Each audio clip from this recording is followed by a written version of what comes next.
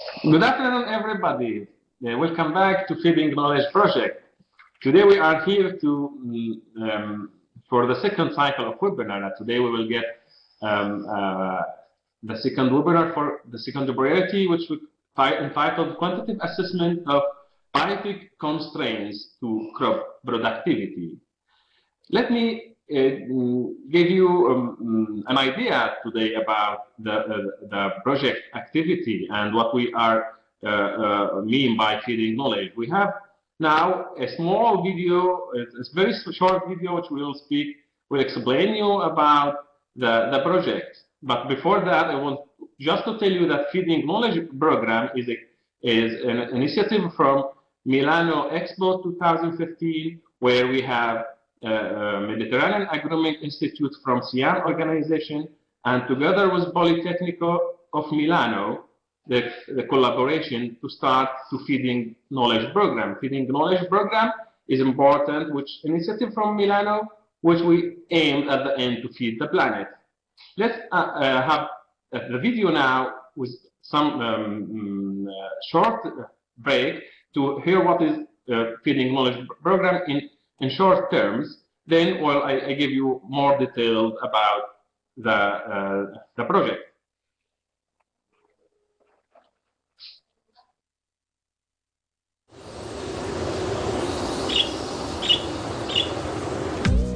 Today, food security is still a promise. Knowledge is the way to make it real.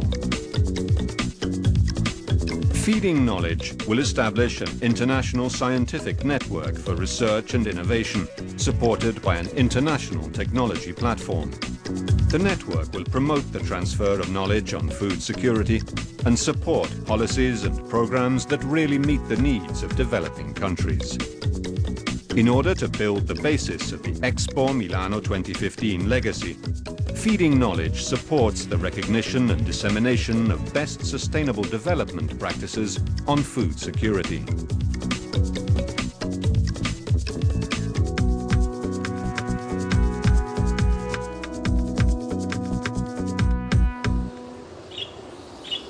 Feeding Knowledge, International Network for Research and Innovation on Food Security.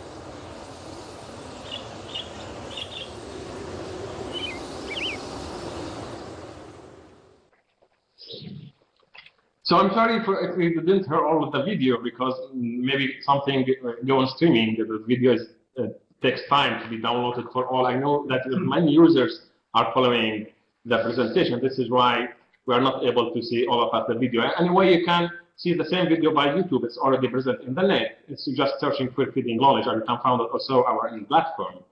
Let me go back to our uh, project. I will tell you that we, we decide to use this kind of tree, as you can see in this term, about the project uh, um, symbol. Um, this is why uh, the idea start start um, from the roots of the tree. The roots of the tree the main idea uh, focused on the knowledge development is the best way to identify concrete solution for food security that really meet the need of countries.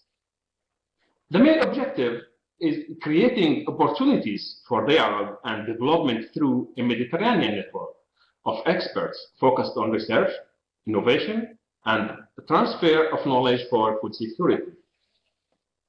This project has five priorities. The first one is sustainable of natural resource management. The second one is the quantitative and qualitative enhancement of crop production, which our priority today, which we get a webinar later. Social, social economic dynamics is, uh, and the global market is the third priority. Fourth one is sustainable development of small rural communities in marginal area. The fifth one is Mediterranean food consumption patterns, diet, environment, society, economy, and health. So the main expected result of this project is the first one, the Euro-Mediterranean Scientific Network for, on research and innovation for food security. The second one is the international technology platform Feeding Knowledge, which I will explain later in details about what kind of platform and how we are able to enter and to register and sign. Anyway, you are invited all to register there and you are welcome as a kind of um, scientific community. The third objective is the creating of 12 national advisor services to support knowledge development in the local level. So the result of this project will, will try to make as much as the divulgation in the uh, partner countries. The fourth point is support of national extension services to transfer research results and list of stakeholders' needs. The fifth um, uh, result, the expected result, as, as I said before, is support of policy makers to elaborate uh, the, um, for the elaboration and effective politics on research and innovation for food security. Mm, let me see you here in the, the target area. As you can see, this is um, focused on the Mediterranean countries. Uh, as you can see already, the main countries um, involved in this project. Going uh, um, ahead, the first step in the beginning of the activity, we start doing webinars. The first cycle of webinars was already concluded, and we, it was easy to do the uh, registration and to follow our webinars. You need just a computer, internet, and connection, speakers, and headphones.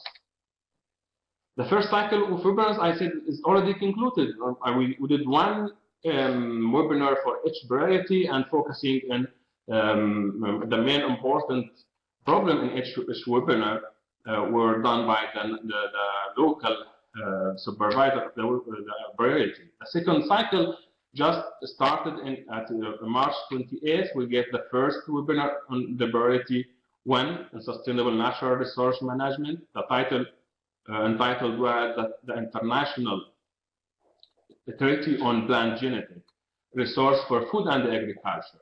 The speaker was Dr. Mario Marino and the colleague Jennifer Calabrese. The second one, the second webinar is today, it's 9 of April 2013, and we have uh, the, the second variety where we have uh, here with us Professor Richard Strange from uh, from University of London, uh, uh, which we will speak, um, will explain later about the variety. Uh, um, the title of this webinar is a quantitative assessment of uh, constraints to crop productivity. So mm, I will give you just a brief outline of this of this um, uh, uh, webinar. Just the webinar will focus on crop productivity. It's uh, is affected by incidence of pathogens and pests, measure, measurement of disease, pressure and pathogen, measurement of symptoms, measurement of yield and quality, establishing the relationship between disease and the yield.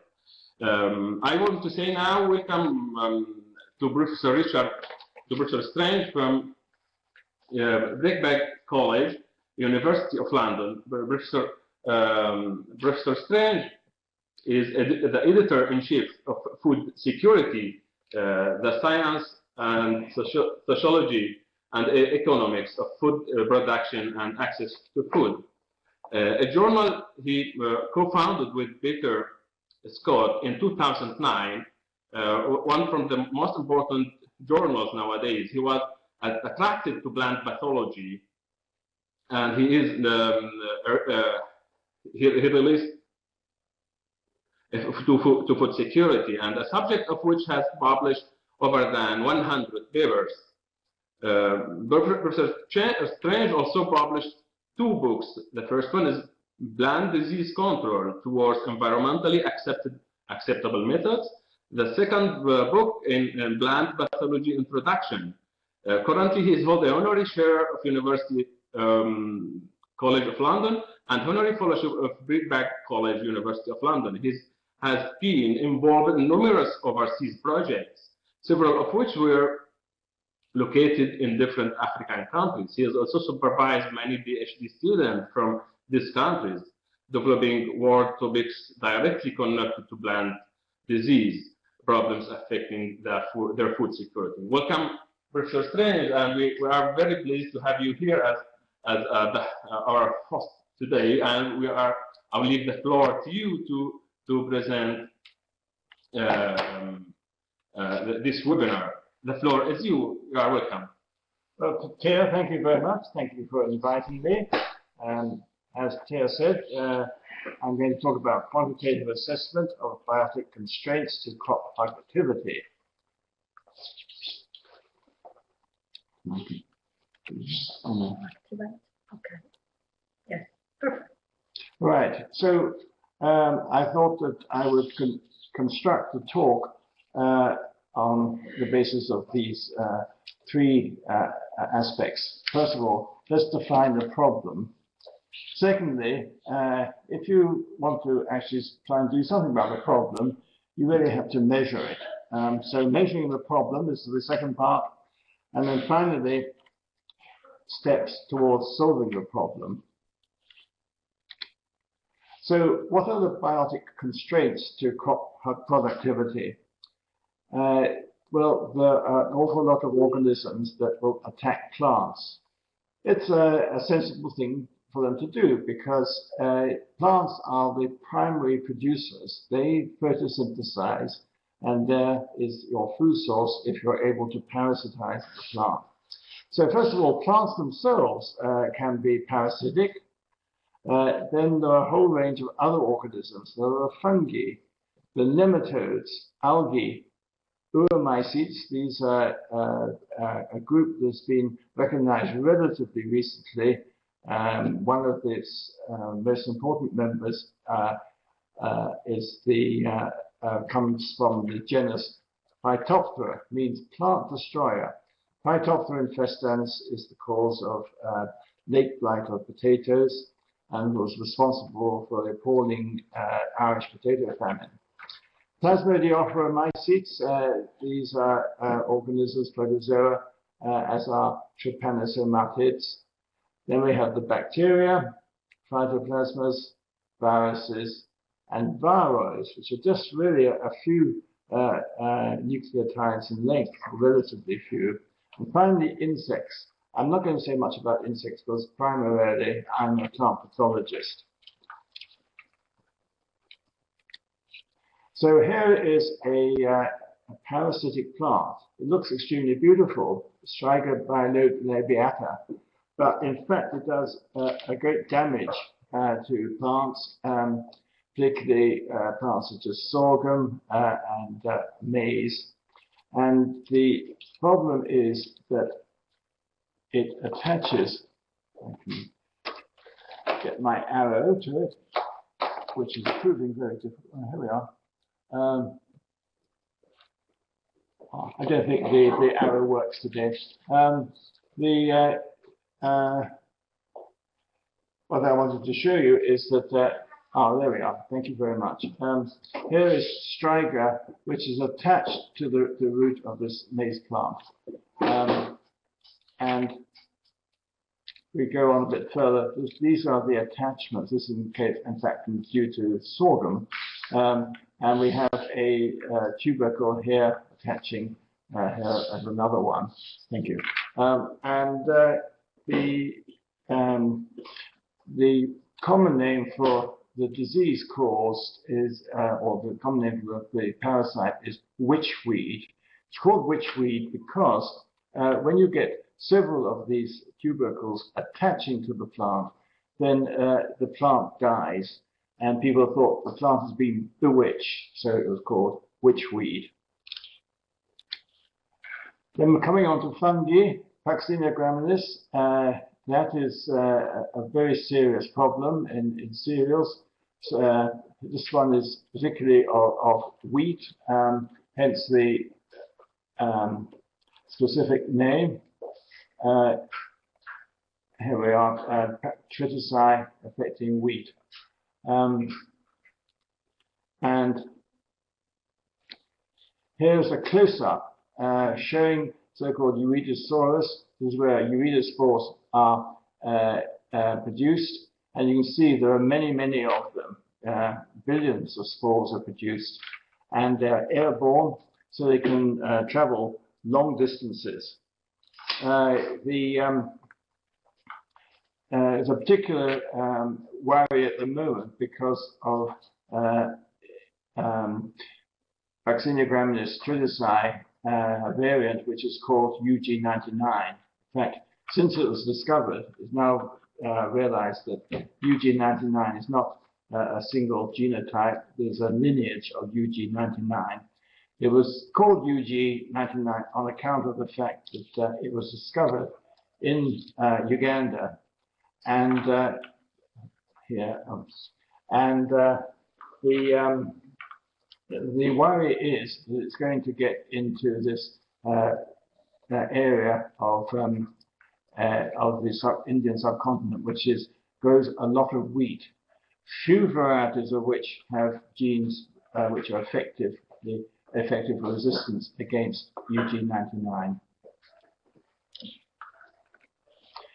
Then we come on to the nematodes. Uh, this is potato cyst nematode, and as its name implies, it, it does cause cysts on the roots of plants. So here, some nematode cysts.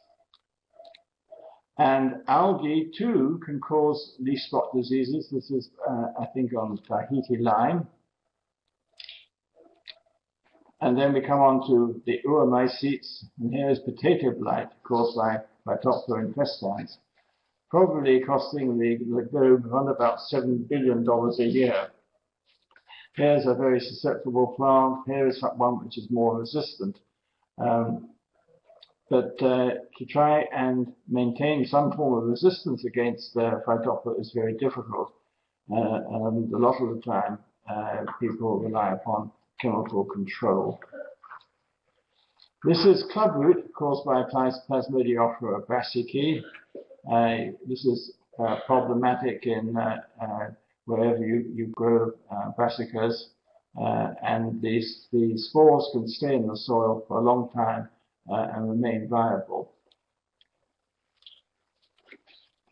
Then we have phyto, uh, um, phytoplasmas, which can cause disease. Marchitez disease of palm is a very serious problem, can kill palms relatively quickly. Um, and then we come on to bacteria. Uh, crown gall uh, is a disease caused by Agrobacterium tumefaciens. And uh, uh, it, it, was discovered initially by Cavara in Italy that uh, the causal organism was Agrobacterium. Uh, and so there was a bacterial etiology. the um, it then presented a conundrum to scientists because quite a lot of uh, this tissue was found to be sterile, didn't actually contain the bacterium. So people started thinking, what was the, uh, the tumor-inducing principle, or TIP for short? Well, uh, in fact, Agrobacterium tumefaciens is a genetic engineer, and it transforms plants without permission. Uh, no regulation is going to get in the way of, of A. tumefaciens if it's uh, in the company of a separate plant transferring DNA. It's not the DNA from its, uh, its um, um, own uh, DNA, it's, uh, the majority of the DNA, it's uh, transferred from a plasmid, the so-called TI plasmid. And what happens is, under the influence of biochemicals from the plant, it actually elaborates its own little hypodermic syringe through which it injects the genes. In the case of uh, the native uh, Agrobacterium tumefaciens, then uh, these genes contain uh, the um, these genes code for uh, the production of indole acetic acid and, and cytokinins, two hormones which cause the tumor. Um, so this is now, in fact, a, a, ve a vector of choice for transforming uh, plants uh, with useful genes rather than these ones which just cause tumors. Uh, then we have a phytoplasma disease, uh, coconut leaf, leaf or yellow disease. Uh, this, I think, is taken in Ghana, uh, where you can see that the coconut industry is actually been virtually killed off by this phytoplasma. Uh, and then we come to the viruses. African cassava mosaic virus is a serious problem on the African continent because uh, many uh, people are dependent upon uh, cassava. In fact, over the world as a whole, about uh, 500 million people depend upon cassava as a major source of, of uh, carbohydrate. And finally, potato spindle viroid, this is, is caused by uh, um, a very, see, uh, caused by uh, just this uh, very small, um, yes, I forget, this uh, very small amount of RNA. Um, so uh, it's amazing how much damage just this small segment of RNA can actually cause. Okay, so those are the uh, the um, those are the problems uh, which people who want to grow plants and uh, uh, and we do want to do that because this is what we depend upon for our food. Uh, this is what we're up against. So let's see how we can measure this particular problem. Oh, one more, which I almost forgot. this is the um, um, white fly. white flies are, of course, they're insects, and they um, uh, they are not only a problem uh, themselves, but they are uh, important in virus transmission. So, uh, how do we measure disease? Well, measuring disease pressure is one way of looking at the problem. Uh, and we've got, of course, the soil to think about, and we've got the air to think about. Uh, in fact, uh, what can we do about measuring disease pressure in the soil? Well, one thing to do is to compare uh, your test soil with soil, the same soil that has been sterilized. Uh, the thing is that, uh, of course, uh, the ster sterilizing technique is not exclusive to the pathogen. What you really want is the complete soil, but just minus a particular pathogen you're interested in. Uh, sterilization will affect possibly um, uh, beneficial organisms. Um, then one way of looking at this is actually to dilute your soil with sterilized soil until you get to an endpoint where your diluted soil uh, no longer um, actually causes disease. So you get some idea then of the disease pressure. Um, then uh, the um, so that that's a way, in fact, of um, of establishing um, the inoculum potential of the soil. Um, then, of course, if you know what the pathogen is, uh, you can actually measure the pathogen uh, from the soil. But that presupposes that you actually know what it is. Well, you can establish the uh, uh, what the what the pathogen is by using Koch's postulates, um, which I won't go into now, but people can ask afterwards if they wish. Um, and then you try and establish a relationship between the inoculum potential of the pathogen and the disease severity. What about measuring the uh, pathogen uh, in the air? Well, this is called a Hirst spore trap. You can see it has a vane which uh, um, uh, allows this part here to circulate according to the direction of the wind. Now, in the next slide, there's a couple of diagrams which give you a bit more of an idea. Uh, this is the sort of impact unit. Here's the vane which uh, uh, rotates according to the wind, and this whole part of the apparatus here. Now, actually, uh, in this apparatus, there is an inlet through which air can pass and is actually drawn by a vacuum pump. And anything that is in the air impacts on a slide here, which has got sticky tape on it. And this sticky tape uh, uh, collects the organisms, but uh, it rotates because there's a clock there. Uh, it rotates on this on this on this drum, uh, and you can then uh, take the, the sticky tape off and look at it under the microscope, and indeed you can culture the organisms that have been deposited there. And this is just some data from a spore trap uh, here's a total culturable uh, number of uh, propagules, um, and the open circles are specifically Cladosporium, which has spores which are, are um, fairly easily recognizable. Um, Then what about the population or, or the amount of pathogen in the plant? Well, the question of the, the amount in the plant, uh, you can actually do this for fungi by, by using chitin analysis. Uh, there is a, a, chemical technique which um, depolarizes chitin, so you get uh, a series of uh, monomers or polymers of uh, glucosamine. And this can be measured uh, with a, a dye which has got a long name, MBTH for short. Uh, so you can measure this photometrically. Um, antigen detection, so uh, enzyme-linked immunosorbent assay uh, can be used.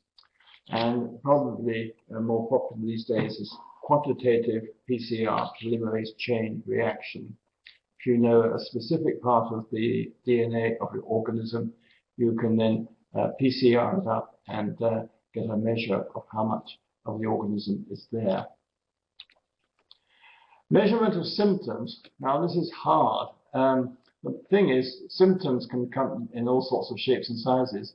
I can get a shoot blight, or you can just get a leaf blight, or maybe the fruit is spotted, or maybe the fruit is rotting altogether. Um, on the stem, you can get a canker. Um, on leaves, you can get spots, or you can get wilts. And in the stem, again, you can get a vascular wilt which travels up the stem. Um, and here we come across the disease we've already seen, uh, crown gall. And then, of course, you get a number of root diseases. So how do you get a measure? How can you put a number on that or any of those, those symptoms? Well, it's not easy. Um, this is an example of Rhizoctonia on potato. And this is one of the easier ones to actually uh, score.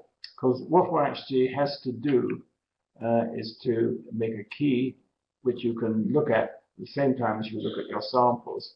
So this is a, a key for the development of, of uh. And you can see that this is um, not much infected. This is more infected. It's given a score of 5. This one more so 10. This one 15. And so by holding this key up uh, by the side of the potato you're trying to score, you can get a measure. Um, it's uh, that is an easy example to use. Uh, we had the, uh, a problem to deal with, which was Ascochyta blight of chickpea and we were trying to get a, a, a quantitative method of doing it um, and uh, photographic method. And we found in the end, really, we just could not do that.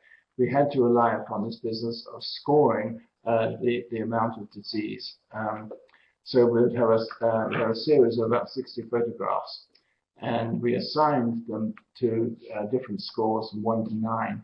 Uh, one is a dead plant, nine is uh, uh, is one which is, is pretty healthy, or maybe it's the other way around. Um, people differ as to which way they, they score. Um, and it's all right, uh, you can score whether a plant is healthy or you can score whether it's diseased um, uh, and, and, dead. Um, but it's in the middle it becomes very difficult um, and people can vary.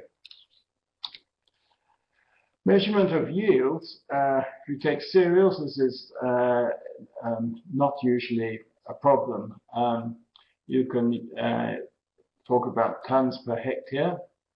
Uh, you can talk about the thousand grain weight, the number of spikelets uh, per tiller, and the number of tillers per plant. Um, but the measurement of quality is more difficult, it's subjective. Also, uh, there's the problem that uh, the, um, uh, the consumer, although may be giving lip service to diversity, when it comes to buying his tomatoes or whatever in the supermarket, they look for uniformity. Um, and uh, the, um, this demand has uh, a disproportionate effect on price. You may have uh, material which is really perfectly good from a nutritional point of view, but it is not accepted by the consumer. Um, so uh, the farmer gets a very poor price for it. So can we establish some sort of relationship between um, uh, uh, disease and yield? Well, the, one way of doing it is, in case of some diseases, there is a critical point uh, where you can measure the disease uh, and then say, well, you can predict what the loss will be. So this is uh, measured by, uh, the loss is measured by uh, the, um, the, proportion of disease in a particular growth stage and uh, multiplied by a coefficient. And that is determined by the nature of disease and the crop. But then you can use uh, multiple point models. That is, you go and take the disease reading at different at, at different times. So here we've got these uh, taking the time north time uh, two two days after infection uh, and uh, five days and uh, and six days, um, and you measure the area under this curve, the so-called area under the disease progress curve. And uh, if those are uh, interested, this is the formula for the area under the disease uh, progress curve. Um, I don't think I need to read it out. But xi is a measure of the disease severity at the ith observation. T is a measure of time, which is usually in days.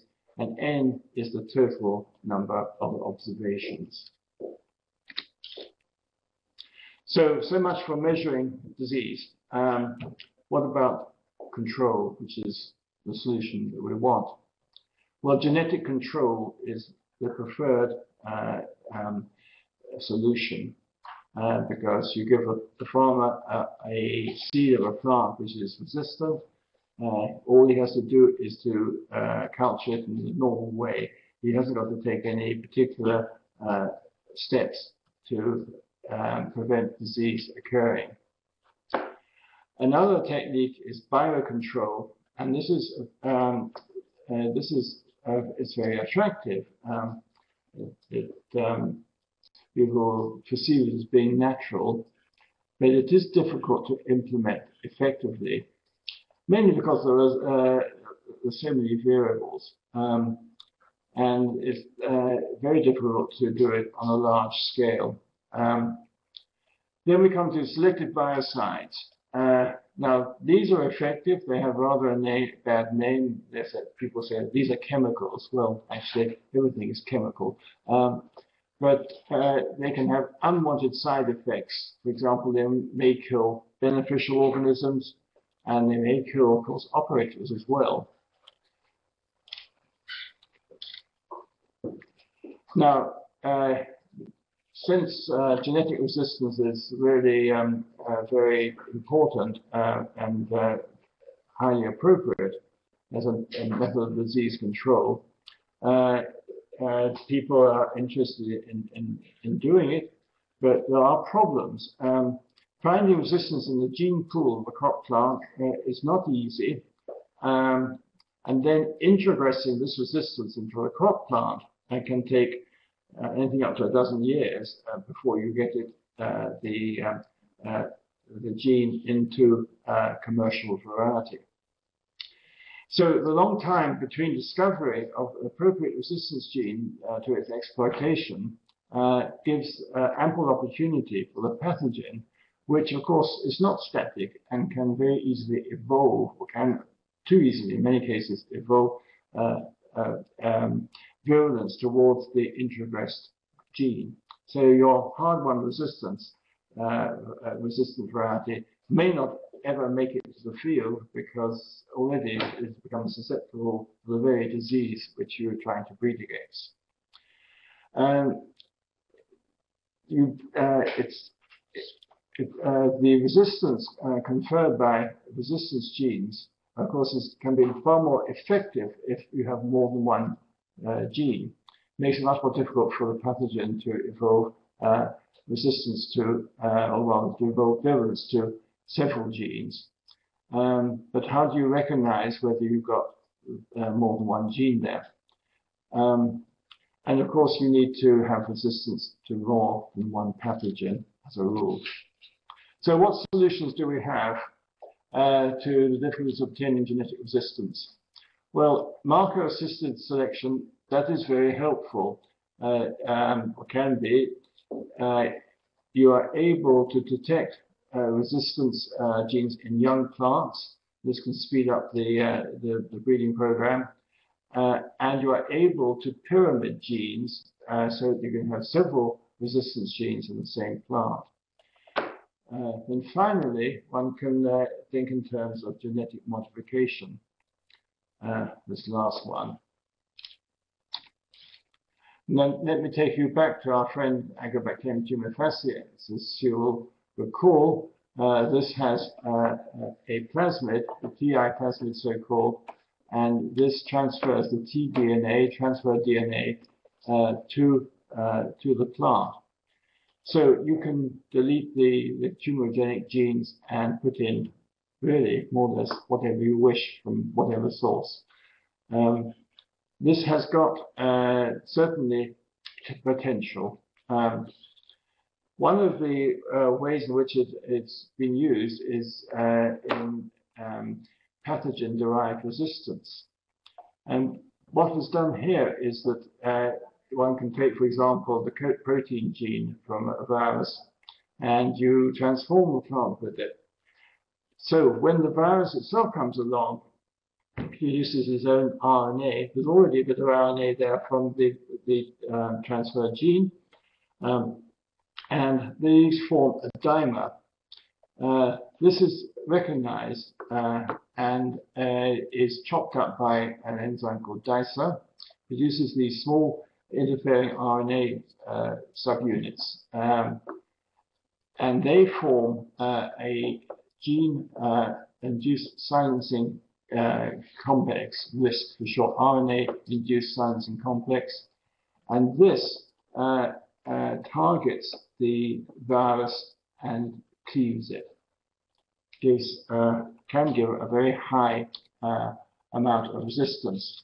Um, and this is being exploited currently in trying to get uh, disease uh, resistance to cassava brown streak uh, disease. As I said, cassava is a very important uh, uh, uh, crop, especially the, on the African continent. Um, and this is a reference which you may be interested in. It just came out at the end of last year. So transgenic RNA interference derived field resistance to cassava brown streak disease. You can see these brown streaks in the tubers, um, which of course are not much appreciated by, by the housewife. Um, and then uh, if you're interested in this uh, business, then uh, a couple of reading uh, of books I, I suggest you might like to take an interest in. Uh, Jonathan Gressel wrote um, transgenics for crop biodiversity. And but the, the first uh, part of the title is genetic glass ceilings. It's like it takes us really from women who complained that uh, they can advance so far in a firm, but then they hit a glass ceiling uh, beyond which they cannot get further promotion. But an even more recent uh, book is this one, Successful Agricultural Innovation in Emerging Economies. Uh, so new genetic technologies for global food production, and it's edited by uh, David Bennett and Richard Jennings. Uh, there are several chapters, a number of chapters there uh, about this subject. But thank you very much for listening, and uh, um, I hope you have some questions. Thank you very much, Professor Strange. Thank you very much for a very rich presentation, very full of new things, and I, I imagine that you get a, a very uh, nice discussion. I, I, imagine I see the many questions was come already in the chat um, from everyone. I, I will invite others if, uh, after the presentation finished to ask more questions because the subject is very important and it's an innovative one. Um, while mm, I will give time to Professor Strange to see that your question and to give time to answer, let me give you um, um, uh, just a small inf information about the Priority 2 and what we are going to speak um, in, in the white paper which we are preparing in this variety. Um, mm, so, something like um, uh, an idea what we are uh, trying to produce, and um, I, I, choose to, to use this kind of presentation in uh, as an iceberg because it's kind of a lot of work was carried out and um, just a few things was going to emerge from water uh, in this variety, but a big staff of experts working under the ground. And um, um, I will present uh, uh, all of them, but one by one, and to show you this white paper stuff working. Let's start from Professor Strange, the international expert in this variety, and I already present him and he say that, that speech. I present myself. I am Tahir Yassin. I'm a researcher from plant pathology. I'm specialized in mycology, working in uh, international uh, organization CIHEAM and in, in Italy, the, the my uh. Uh, I work in uh, integrated pest management division. Let's let me present also the, our colleague. The, the first is um, our um, uh, coordinator, the coordinator of integrated pest management division is Anna Maria D'Onghia which supervise all this work. Um, the other colleague is uh, Alessandra uh, from uh, the researcher in mycotoxins contaminants from international from Institute of Chemical uh, Biomolecular Chemical in CNR in Rome. Uh, um, the third slide here you can see um, the uh, other colleague and experts in in, in organic farming, as uh, our colleague uh, Francesco Ceglie, who's taking care about the aspects with organic farming and how we can enhance the quality of the product during in, in, in, the, in this activity. Um, Franco Santoro is an engineer who is taking care about research, his research in precision crop protection and with what, how we can use the decision support system and innovation technology to get a fast and rapid decision using the, informatic systems. As you know, all this innovation and research application is not able to be to be um, reach the field if we didn't have a good legislation. And this legislation, but um, our colleague Maurizio De Santis taking care about this um, argument, um, considering the European legislation and how would be ex be extended in the future for other member countries um, uh, uh, Dr. De Santis uh, working from in CIHEAM, also working in, in Ministry of Agriculture, in Italian Ministry of Agriculture. So, so, let me present uh, the, the staff who, who, you didn't see yet, uh, who work behind the screens. Uh, the group of Milano, Valeria Baudi, Gianfranco Ia, Paola Corti, Francesca Conica, who gave us big support um, to, have, to get success in this project our colleague from uh, uh, the Institute of Bari, Laura Scivetti and uh, Marinella Giannelli, who we get in touch every day and to, to get the, the technical support and organization for all these things. Let's, let me speak about what we carry out in the beginning for how to make this collaboration and e-collaboration instrument to, to get in touch with all these experts everywhere.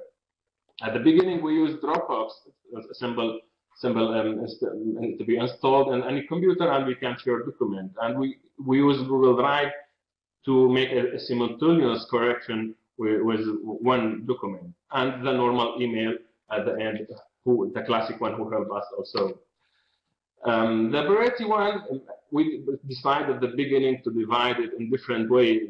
Now we are restructuring also the white paper in this variety. It was divided now in pre-harvest and post-harvest activity.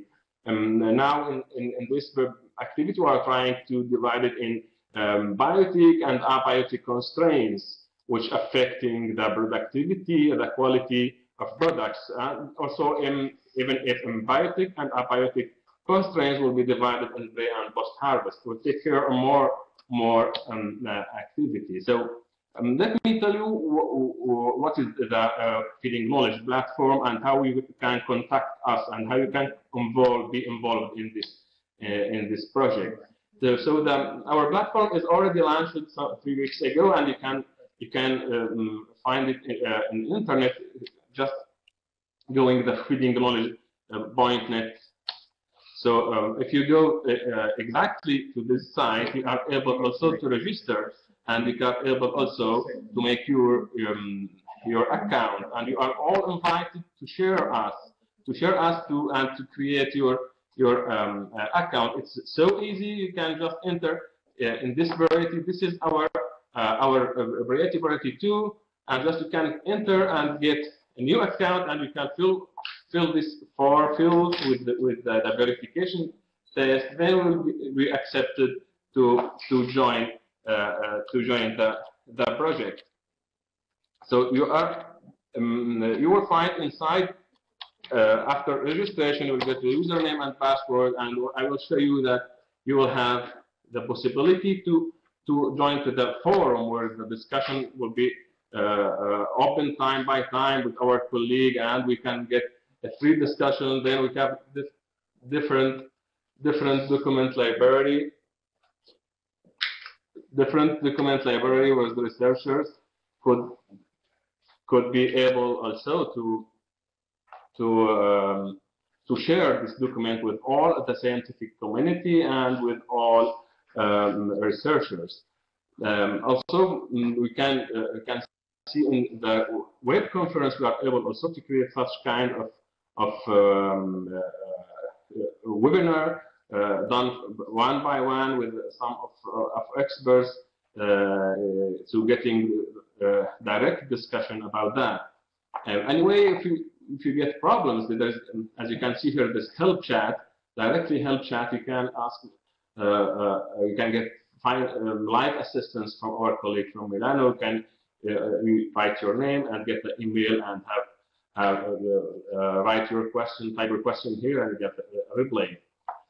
So now, um, thank you again. I want to to I finished the, the, presentation. I will give the, the, the, floor again to Professor Strange. I hope that he had enough time to, to uh, read all your questions. I, I suppose that he get a lot.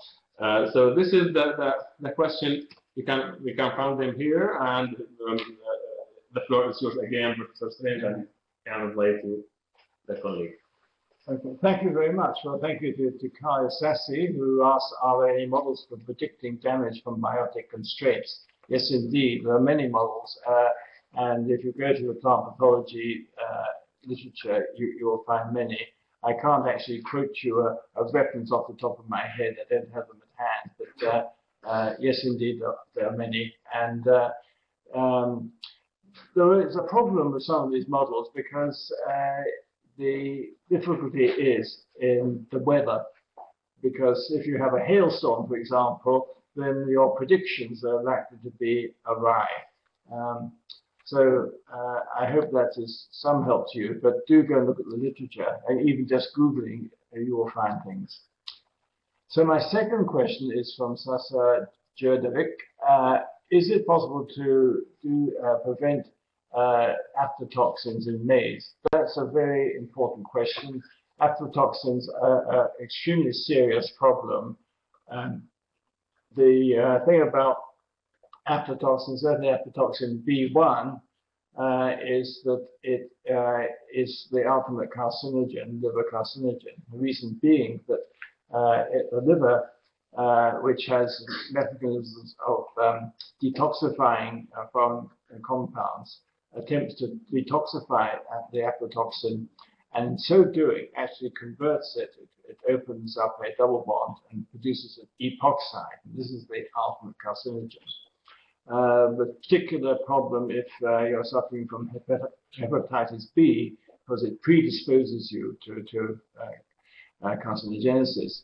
Also, uh, in higher doses, aflatoxins uh, are actually poisonous. And there's been a fairly recent case in, in Kenya where a number of people have died um, now, there, is it possible to prevent uh, aflatoxin?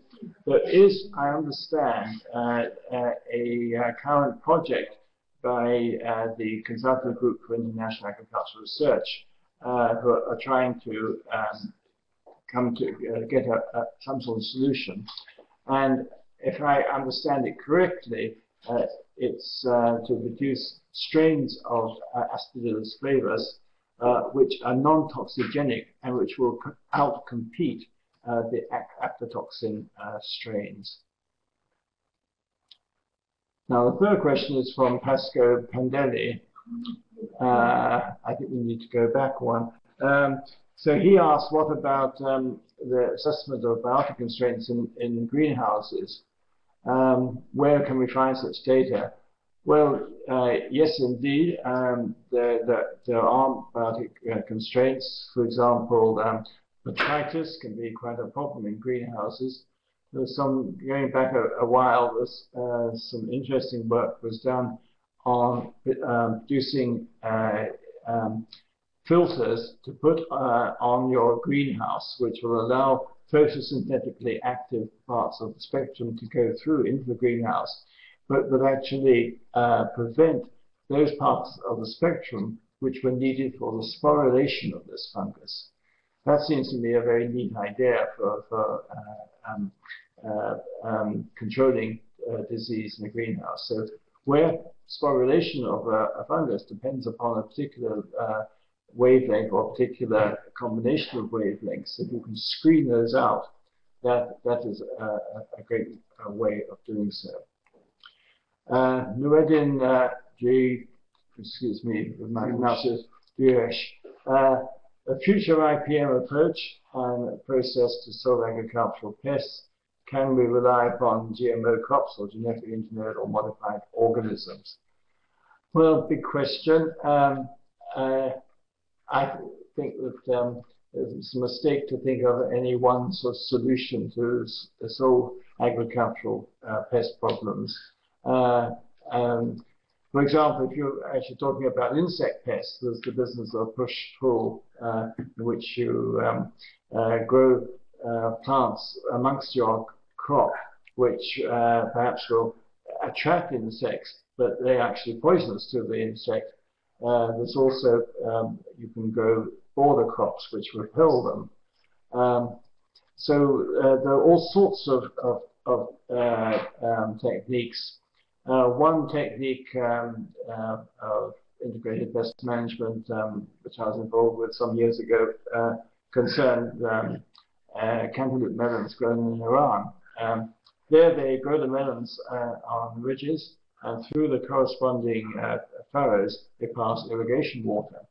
Well, as the uh, disease, which they call green death, um, uh, was caused by a Phytophthora, um, uh, the water from the borehole uh, uh, was an excellent way of spreading the zoospores of the uh, from plant to plant. Now, what we found was that the roots of the plant were surprisingly resistant. They were very resistant. It was just the crown of the plant that was very susceptible. So the, the uh, um, technique there, which would prevent the disease, was to have the irrigation trenches deep enough so that the water never reached the crown. So I think that uh, um, if you're interested more than in an academic way in solving the uh, agricultural problems, you should be open to uh, every possibility, which will uh, include uh, uh GMOs. Um, um, I think uh, one should look at all, as I say, all possibilities. Um, and you, as a scientist, you should be open to that in, completely initially and you should not be uh, too concerned about uh, the many people who seem to uh, uh want to legislate and uh, regulate, etc., etc. Um, they can only actually work on material which is actually known, or that's what they should do. Um, so um, we shouldn't uh, shut off a whole area of work just because we fear that um, some legislation somewhere will uh, prevent its adoption. That might be a, a, only a, a, temporary measure. Uh, right, the next, um, next question. Hamid El Bilali, uh, do I think the GMO crops will be socially and culturally accepted in the near future solve food security problems? Uh, well, they already are. Um, in the United States, uh, uh, trillions of meals have been eaten uh, which uh, contain genetically modified material. Um, and I think that there is a movement in Europe where there's been a lot of skepticism um, uh, towards uh, uh, acceptance. I, I, think that there's a fundamental mistake um, in uh, public perception in some cases. The, the, mistake is this. It, it's actually um, confusing the technique uh, with the product. Uh, the question you should be asking is, uh, is a genetically uh, modified plant uh, actually um, solving a problem?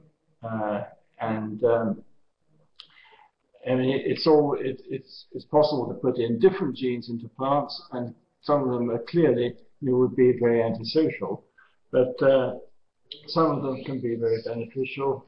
Uh, the pathogen-derived resistance I mentioned is, is, one of these uh, situations. Then MANA, um, for the measurements explained earlier, how uh, about seasonal variation. Um, yes, as well, uh, the population of the pathogen as well as the symptoms are related to the, to the season. Well, indeed, yes, they, they are. Um, uh, how can we consider it? Well, we can certainly study it. Um, and uh, uh, one of the things that can come out of such studies is uh, uh, altering planting date.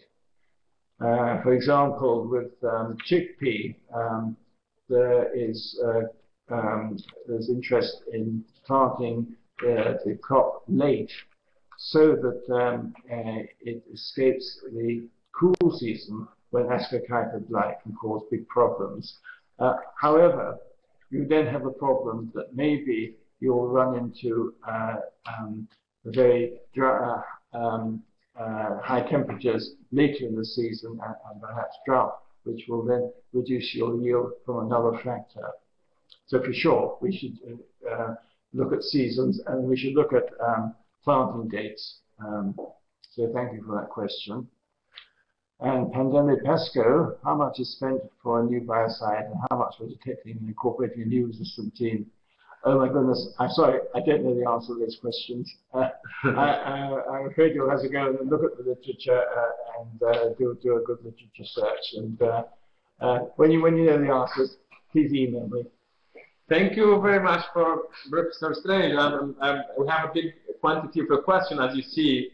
So for this reason, we will um, invite Professor Strange who, will reply to all your questions by different channels as you see in, in Twitter and in Feeding Knowledge platform and also in, in Facebook. So you can also get mm, uh, uh, be involved directly with the discussion and we get answer and you reply also in, in the chat uh, uh area where we can create our forum in, in um, network uh, from in Feeding Knowledge platform. Um, let me uh, to thank again Professor Strange for the very enthusiastic um, uh, uh, presentation and uh, nice discussion. I want just to give a floor to my colleague Hamid El Bilali who will present um, the, uh, the new, the, the, next webinar which, we can hold. Who will give you more information about that. The, the floor is you, Hamid. Thank you. Thank you, Tahir. Thank you, Professor Strange. We do believe that in order to address food security problem, we have to, of course, address all issues regarding uh, crop production or the production side of the food chain, but we have also to pay enough attention to the consumption side. And the next webinar that will be held by Dr. Sandro Dernini, and that will be uh, that is entitled the Sustainable Diet, the Mediterranean Diet as a case study will deal with these issues. Uh, Dr. Sandro Dernini is the coordinator of the Forum on Mediterranean Food Cultures and also a consultant at the Food and Agriculture Organization of the United Nations. He will try to uh, give us some insights regarding different issues and basically he will try to answer different questions regarding the what, or how, and the why. The, as far as what is concerned, what questions are concerned, He will try to uh, give us some insight regarding what is the Mediterranean diet, what are sustainable diets, and also since the Mediterranean diet has been recognized in 2010 as an intangible cultural heritage of humanity, he will try to uh, give us some information regarding the huge diversity of food cultures in the Mediterranean. That's regarding the what questions. As far as as far as uh, the why uh, questions are concerned, he will he will try to provide some information regarding why the Mediterranean diet can be considered that as a case study, especially used by international organizations such as the Food and Agriculture Organization of the United Nations, in order to study sustainable diets in different socio-cultural contexts and agroecological zones. And also uh, why the Mediterranean diet is a sustainable diet and what are the main characteristics of the Mediterranean diet that can help us or not to say so. That regarding the why questions. As far as the how questions are concerned, he will try also to provide us with some insights regarding, first of all, how we can make the Mediterranean dietary patterns, the current Mediterranean dietary patterns, more sustainable. And also, and this is the most important part of his speech, and that is related also to the subject matter of Feeding Knowledge project, is how by improving the sustainability of diets and food consumption pattern in the Mediterranean, we can also uh, move toward achieving food and nutrition security in the Mediterranean in general and in Eastern and Southern Mediterranean countries in particular. Thank you very much, and I, I look forward to seeing all of you on April 18 for the webinar. Meanwhile, I leave again the floor to Saer for final consideration and conclusions. Thank you, Hamid, very much. Thank you for the nice presentation. Thank you for the interesting subject which you are um, already present and the scenario is described for the next uh, webinar. I'm sure that we will not miss such kind of uh, important argument. Uh, I want to thank you all for attending the webinar. I want to thank again Professor Stein for his presence here. Thank you again. See you in the next webinar. Uh, thank you all.